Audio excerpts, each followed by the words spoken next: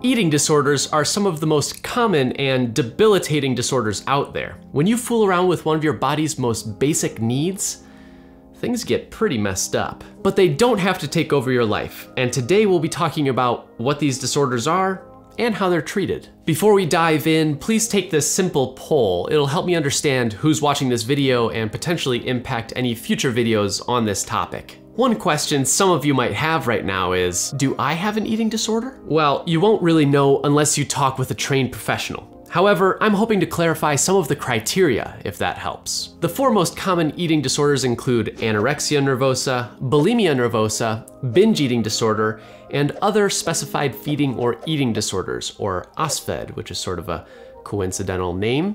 It used to be called eating disorders not otherwise specified, or EDNOS, which is equally catchy. In today's video, we won't be talking about OSFEDs or other less common eating disorders like unspecified feeding and eating disorders, avoidant restrictive food intake disorder, pica, or rumination disorder. However, I could create a separate video just about them. If you're interested in something like that, then just let me know down in the comments. But for now, let's go over the big three. First, there's anorexia nervosa. When you think of anorexia, you probably think of someone who diets excessively or restricts their food intake, leading to severe weight loss. Anorexia also includes a distorted body image and a pathological fear of becoming fat. Anorexia affects about 1.9 million people in the United States and about 10 times as many women as men. And unlike the other big two disorders, anorexia is extremely difficult to treat in large part because the person with anorexia does not see their lack of eating as a problem. In addition, genetics, body dysmorphia, and social pressures can act as roadblocks to change. Next is bulimia nervosa. This involves frequent episodes of binge eating followed by purging behaviors such as self-induced vomiting, use of laxatives, or excessive exercising to avoid weight gain. Bulimia mostly occurs in more economically developed countries and affects approximately 3.2 million Americans alone. It also has a gender disparity affecting almost nine times as many women as men.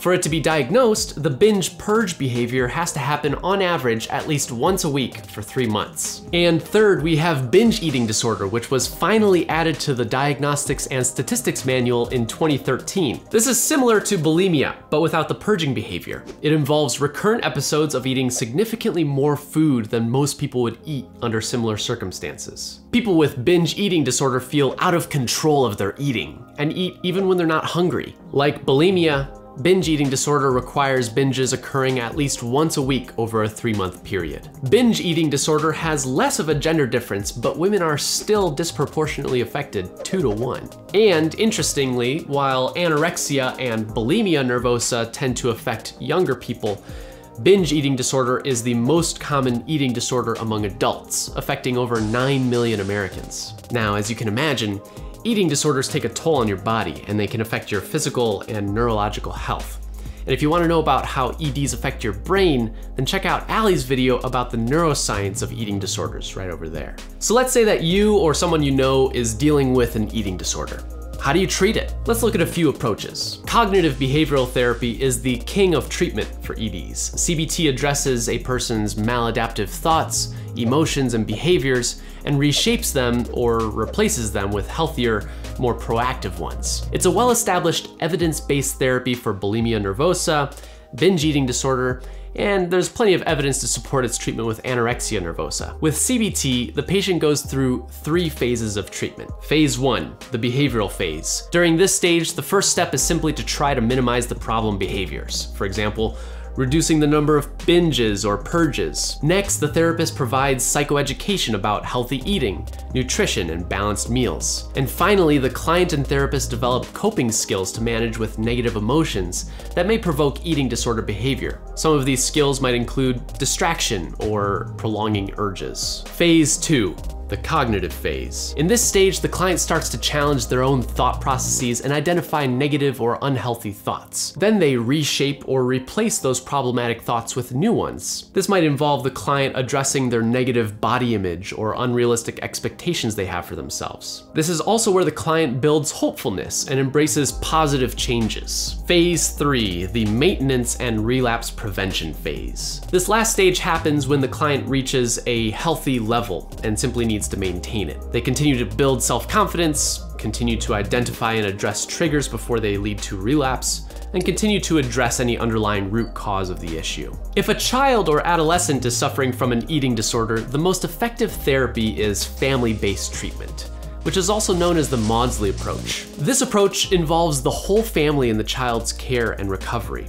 Unlike some other forms of therapy, FBT focuses on the issue in front of the family, rather than examining past mistakes or underlying causes of the eating disorder. It's a non-judgmental approach to addressing the eating disorder, and it unites the whole family as a team to tackle the issue. This approach also has three distinct phases when treating eating disorders. First, the parents take control of their child's nutrition and get the child back to a normal weight. They become the enforcers, coaches, and role models of healthy eating. Meanwhile, the therapist works with the child to accept and understand their eating disorder. Second, after the kid is at a stable weight, the parents slowly give control back to the child. In this way, the child learns how to feed themselves appropriately and learns healthy eating habits. And finally, the child creates a new and healthier identity for themselves, and they're able to completely manage their own eating. Interpersonal therapy, or IPT, was originally developed to treat depression, but has also shown effectiveness in treating bulimia and binge eating disorder. It has shown some effectiveness with treating anorexia, but not as strongly.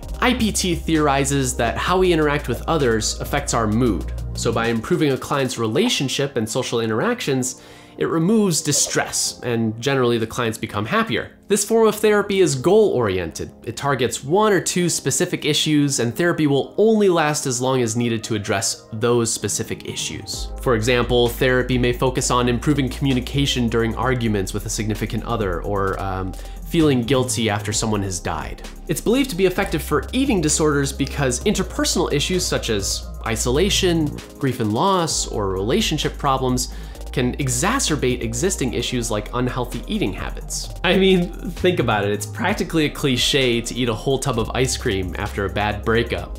There are a lot of therapies that I haven't talked about, but that may be effective in treating eating disorders. This includes art therapy, dialectical behavior therapy, acceptance and commitment therapy, and even equine therapy, which uses horses to treat eating disorders, which is kind of wild. In addition to psychotherapy, many people with eating disorders receive help from nutritionists who provide nutrition management. For severe cases of eating disorders, hospitalization may be warranted. And medications can play a role, either to address underlying concerns like anxiety or depression, or some drugs like fluoxetine have shown evidence of actually reducing binging and purging behaviors in bulimia. Regardless, there is treatment out there. If you or someone you know is suffering from an eating disorder, then please seek help. Eating disorders, and particularly anorexia, are surprisingly dangerous and can be fatal they have the highest mortality rate of any psychiatric diagnosis. I know that mental health and mental illness are hard to talk about.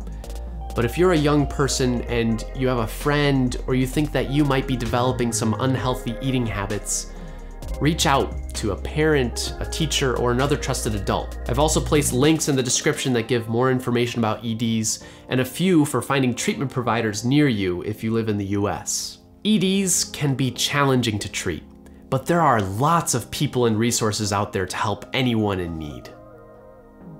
So don't wait. Thanks for watching this episode of Micah Psych on neurotransmissions. Hit that like button if you got something out of this video, and subscribe if you want to catch other stuff like this on our channel.